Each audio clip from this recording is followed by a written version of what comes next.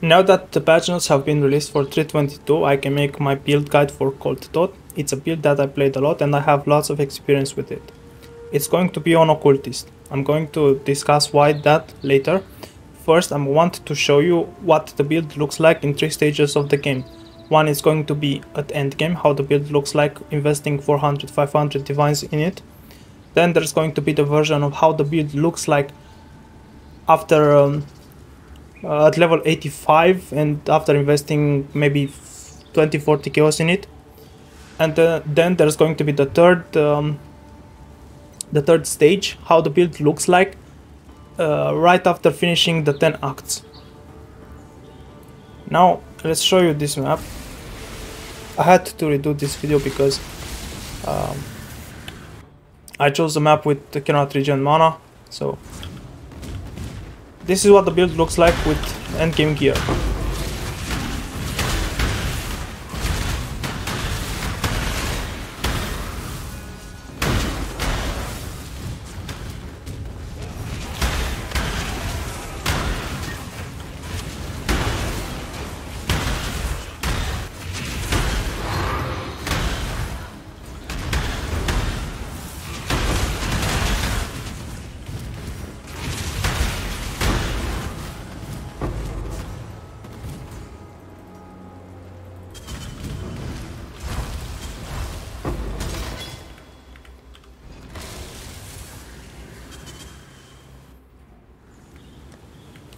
Now I'm going to go to standard and show you how it look how it would look like with about 50 kills in, invested.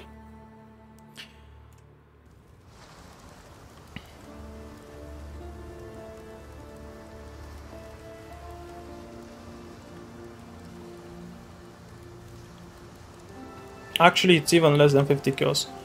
So I want to I want to take this out and remove this point because usually this jewel is either expensive or not available in the first day of the league. Long When I'm ready, map. and not before.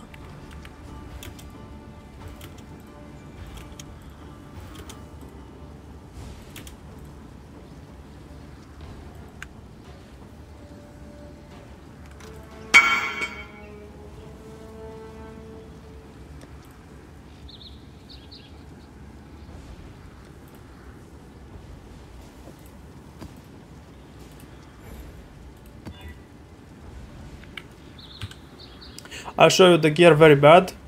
Uh, if you want to look at it, it's like even with 20 kills I can get better gear. I will. The only thing that is important, get a helmet with de determination or malevolence, mana reservation efficiency, throw a deafening essence of loathing, and if you have money, get the mana reservation efficiency of skills on the implicit. But that's the only thing that's uh, I would say more expensive. Other than that, all this gear wanted to kills super cheap.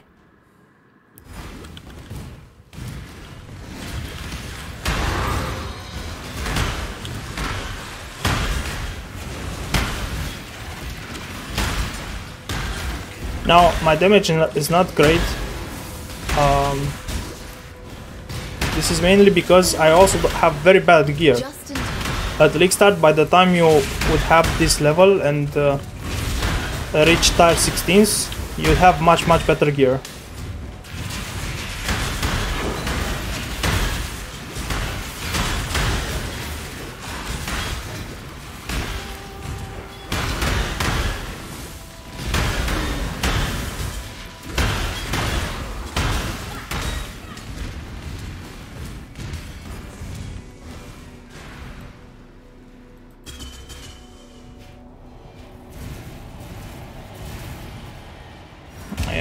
Yeah, I shouldn't have done that.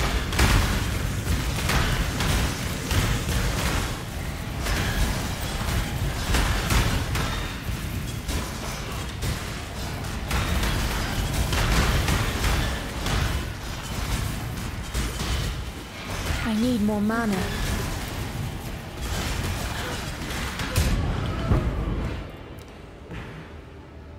Yeah, it was my mistake for choosing that mode, but you get the idea how the build works.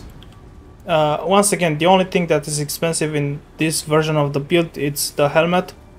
I died because I cho- chose that uh, bad mode and I couldn't properly use flasks. Uh, I was taking 600 kills damage per second.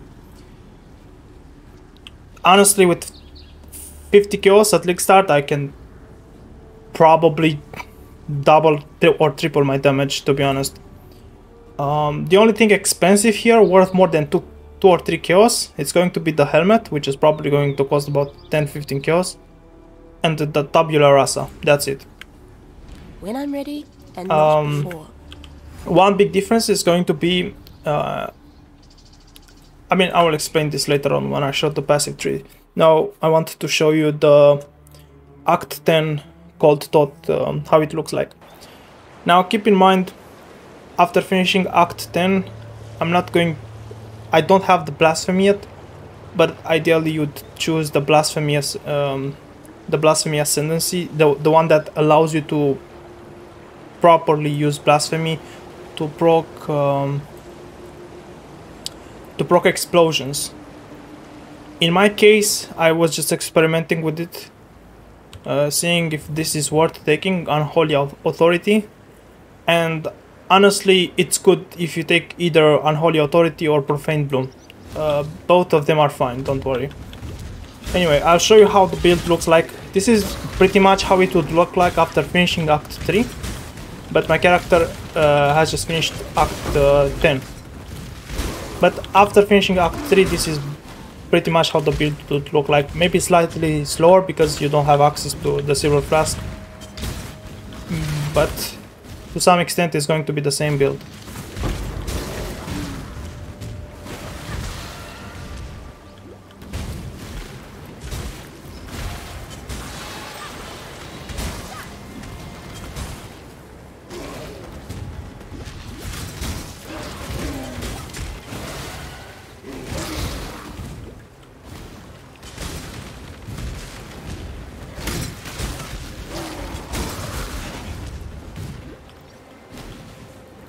There you have it. Now let's go to explain the build and how it works.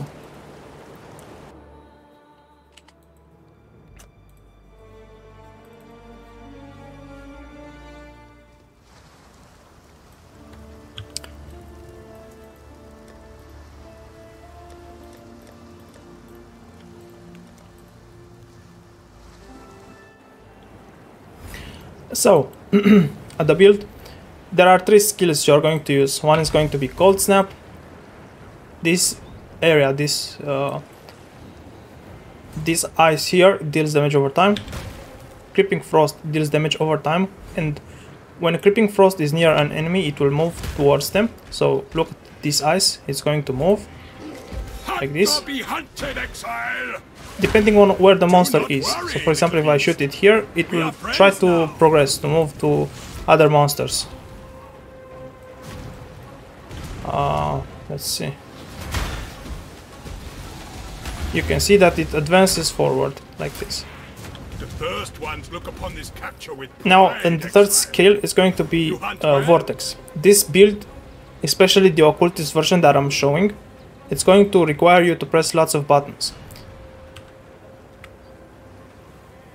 You have to cast curses manually, which is going to be elemental weakness ready, and uh, frostbite, and also you're going to use frost bomb if you don't have the implicit of uh, inflict exposure on hit.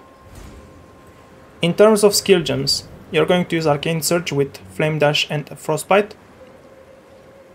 Whenever you have mana, take defiance banner as well as determination and vitality. The auras that are mandatory through the acts is going to be malevolence and clarity. And if possible, your next aura is going to be temporal chains linked, linked with blasphemy support. As a movement, you're going to use shield charge linked with faster attacks, and steel skin is going to be on left click. We are going instead of using a six link, I'm going to use uh, two two skills linked to other four support gems, so double five link. It's going to be vortex and creeping frost. They are going to be linked to elemental focus, control destruction, empower, and swift affliction. But in a league start scenario, you would replace empower with inspiration support because this this build requires lots and lots of mana and inspiration helps with that. And instead of swift affliction which is good for bosses you are going to replace it with efficiency. Cold snap you are going to use it usually socketed in a pair of gloves like this. I'm not going to go into details how to craft them. I have videos on my channel. You can go watch those. But usually you want to use cold snap in a pair of gloves with at least uh, plus 2 aoe or 30% more damage over time. And for the gems, you are going to use Control Destruction, Bone Chill, and Efficiency in a league start scenario. After that, you can use Awakened Elemental Focus. These are the main uh, links. In terms of uh, what stats you're seeking, in a league start scenario, just cap your resistances maybe for the gloves you want to have either plus 2 AoE or damage over time, multiple uh, damage over time. Uh, but in general you're looking for resistances and life and for the weapon you're looking for plus 1 all uh, either all spells or cold and some damage over time or, and increase cold damage or spell damage. The shield can be whatever, at league start it really doesn't matter but this is what it would look like in endgame. The amulet, it's a basic amulet with damage over time multiplier and plus 2. It's not even crafted properly, but something that is going to be important later on when you're crafting, it's going to be boots that have uh, drops scorched ground while moving. This is uh, very important. Basically, you want to stay on top of bosses like this, and um, when they are in those flames, they just simply uh, have their resistances lowered. As you can see, minus 12 resistances. Then there's going to be this piece of uh, helmet with the mana reservation efficiency of skills. In a league start scenario, you would want a helmet that has either malevolence or determination, preferably malevolence because uh, that's what you want. Um, that's the aura that you want mainly, and then if you can afford determination, you can also use determination but you want malevolence 30% increase mana reservation efficiency or determination, if possible with the implicit of mana reservation efficiency of skills, and just throw a deafening essence of loathing on it. That's it for a day one scenario. After that, when you progress into the end game, you can look at the helmet similar to this one. But day one, that's what you look for. In terms of flask, usually granite, quicksilver, and onslaught they're good.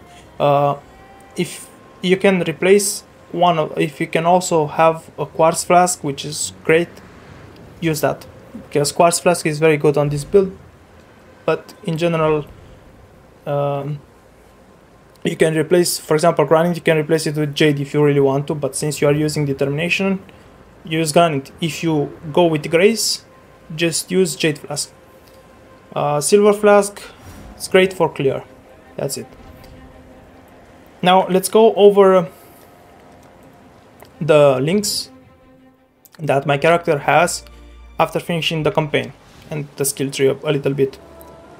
Basically, the links that I have are uh, similar to a large extent to the links that I would have after finishing library in in Act uh, in Act 3. And for the, for the ascendancies, you first go with Void Beacon and then Frigid Wake. After that, taking either Profane Bloom or Unholy Authority, both are fine. Because I took the uh, Unholy Authority, I'm also using Elemental Weakness, but it really doesn't matter. Right now I don't have enough mana to sustain Blasphemy and also I don't have the links. Keep in mind this is how my character looks like after finishing Act 10 my resistances are very bad as you can see uh, but this build is good enough to farm logbooks. It can definitely handle many logbooks with um, can even run level 68 logbooks with this build at this point. This is what the gems look like. Cold snap swift affliction control destruction and bone chill now ideally I would not have Swift Affliction, but this is the, the only four link that I got. Ideally I would have um, efficiency here and maybe put cruelty or elemental focus or control destruction instead of this swift affliction. But it's important that you have bone chill linked with your cold snap. Then here you I have creeping frost with efficiency and vortex and the reason why I didn't change this is because uh, I guess I was rushing I, I don't pay attention but I would usually want a double four link, so instead of having Vortex here, I would put uh, maybe Control Destruction and move Vortex down here. But I guess uh, I don't have enough sockets, that's why I have it like this. Anyway, um,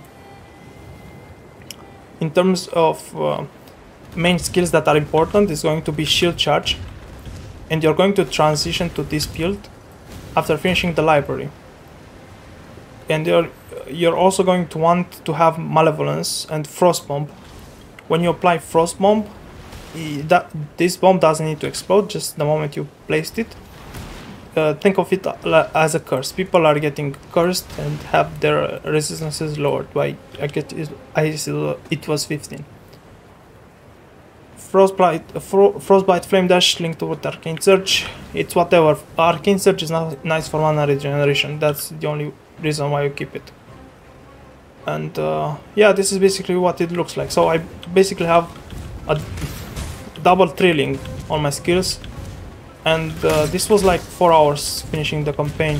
When I'm ready. Um, obviously you can see from my HP but that I don't have a lot. This is what my tree looks like.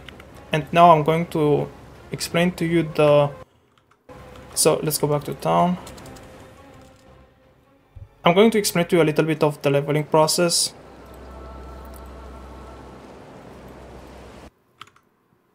Let's go to my POB. So here you can select um, the, the trees. So here is going to be before the ascendancy, what it looks like. You're going to go up this way. And if you have reached level 8 and you have a blue blue green you're going to take this practical application because you're going to buy added cold and added lightning. If you have not uh, received uh, a tree link uh, blue blue green at this point you would not take practical application and go for frostwalker then you'd go bottom take all these nodes right here life on holy dominion light of divinity amplify then precision and then go top, take the life, and after that take spiritual command.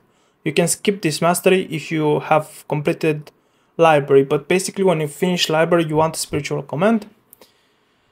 And for the items, here are the skills that I'm using. So here you go to skills and select here before ascendancy, like this. And when you go to items, you also select, uh, I mean, here I don't have items because come on, what, what items you can have? Just uh, try to get um what was that earthquake? Try to get the try to get the ones that give uh, flat damage to spells like fire to spells, uh, cold to spells, lightning to spells. Try to get those ones and don't try to have any link on your ones. Now let's go back to the skills for uh, before the ascendancy level 2 to 4 you're going to use Freezing Pulse, you're going to get it from the quest. Linked with Arcane Surge. When you reach the first, uh, the, the coast, you want to level your Freezing Pulse to level 2 before you reach the Mud Flats. In, in the Mud Flats, you want to kill the monsters with Freezing Pulse and try to stay close to the monsters. Freezing Pulse deals more damage if you are close to the monsters and it can also freeze them. If you don't stay close to the monsters and you shoot freezing pulse projectiles from afar, you're going to deal far less damage and you're also not going to freeze the enemies. Anyway, when you kill Hailrake and go back to town, now you're going to have you're going to take chance to poison. Look here. Um, oh, I guess I've here. I guess I forgot. So, or no, it's here.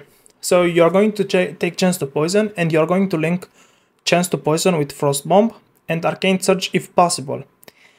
For clearing, you're going to use this setup with Frost Bomb, Chance to Poison, Arcane Surge, Holy Flame Totem, and if necessary for a pack of blue monsters or um, or even a rare monster, you're going to use Freezing Pulse and Flame Wall and you're going to shoot Freezing Pulse projectiles through the Flame Wall. Because Flame Wall, what it does, it um, it basically adds uh, fire damage to spells to projectiles. And freezing pulse is a projectile. Try to place flame wall in the on top of a monster and shoot your projectiles from uh, point blank like be as close as possible to the enemy so that you deal most damage with freezing pulse now when you reach brutus ideally you'd have um, or even a dweller you want to swap your frost bomb with your freezing pulse because you want to put freezing pulse linked to chance to poison and if possible to arcane surge. But for killing monsters just have frost bomb linked with the damage supports. When you reach a boss you're going to replace freezing pulse with frost bomb. I'm not just swap them around you're still going to use freezing pulse to lower those uh, the enemy's um, cold resistance but it's not your main DPS. Your main DPS is going to be Flame Wall and Freezing Pulse, and you are also going to drop a Holy Flame Totem. But in general, you want to use Flame Wall close to the boss and shoot Freezing Pulse projectiles. And you would use this strategy until your uh, you finish library and you uh, you switch to Cold Dot. But until that point, you're only going to replace the chance to poison an arcane surge with added lightning and added cold that you get in act uh, in act 1 after uh, after killing Brutus I guess. Or no after reaching the after reaching the prison. You're at level 16 you can use cold snap when clearing. Cold snap with no gemlings it's okay for clearing but you want to also use herald of ice and summon skitterbots and that's basically all you have to do. Your first ascendancy is going to be uh, the which one uh, this one right here the void beacon on the occultist and then go for frigid wake. Now for for the other uh, trees you can just select them here. So this is basically what the tree would look like um, after finishing the campaign most likely try to go left, take all the points on the left and then go to the right. Then for the items, here you select the Act 410. Basically these are the items that I finished Act 10 in about 4 hours. When you select level 85 maps and you go to items here, you can also select level 85 and for 3 you can also select it here. Uh, level 85 mapper. And there you have the tree right here. And the same goes for the end game hopefully you understood. This is how you level a cold dot through the early acts 1 to 3 and then after 1 to 3 you will most likely have a build that looks similar to this one my gems hardly changed mainly because I didn't get uh, better links that's the only reason. But it would look similar to this one right here. Um, one thing that I did not explain, Cold Snap, you have uh, frenzy charges. Basically, if your Cold Snap is on cooldown, but you have a frenzy char charge, it will consume one frenzy charge to cast Cold Snap, Cold Snap even if uh, it is on cooldown. And after you switch to Cold dot, you would want ones with increased spell damage or scepters with increased elemental damage. Both of them work fine. And your build should look like this after you complete library in Act 3. Uh, pretty much this clear speed is what you're going to have after finishing Act 3, maybe slightly less attack speed, cast speed.